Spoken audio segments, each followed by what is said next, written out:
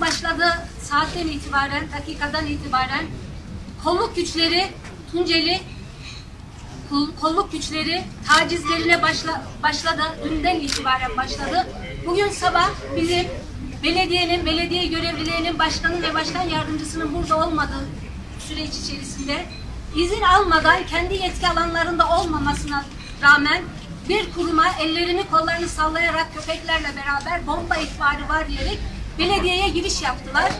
Ve daha sonra da hiçbir açıklama yapmadan konferans salonunda yani şimdi güncel gelişme, siyasal gelişmelerde çözüm ve yöntemlerimizi tartışacağımız panelimizde panelistlerden önce belediye kurumlarına hiçbir şekilde sormadan yine elini kolunu sallayarak iki polis memurunun girip içeriye kameraları yerleştirmesine karşı bütün görüşmelerimize, belediye başkanının bizlerin görüşmelerine maalesef olumsuz hala ısrarla çekim yapmaya devam ediyorlar.